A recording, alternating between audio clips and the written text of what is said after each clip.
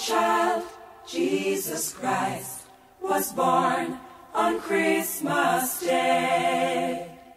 And man will live forevermore because of Christmas Day.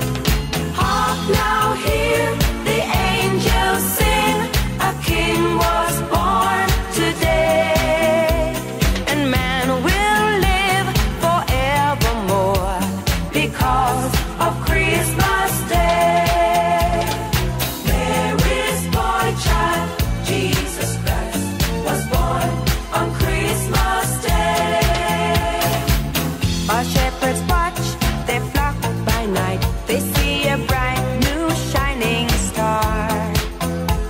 They hear a choir sing a song. The music seemed